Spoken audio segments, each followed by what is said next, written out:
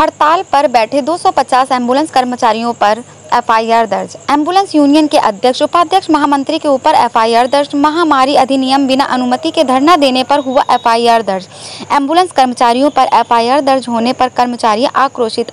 धरना स्थल पर पहुँची कई थाने की फोर्स। धरनात्मक कर्मचारियों का आरोपी 25 एंबुलेंस को ज़बरदस्ती ले गए सीएमओ। स्थायी नौकरी शोषण बंद करने की विभिन्न मांगों को लेकर चल रहा धरना। कराई गाँव के पास तीन दिनों के एंबुलेंस कर्मचारियों का हो रहा धरना।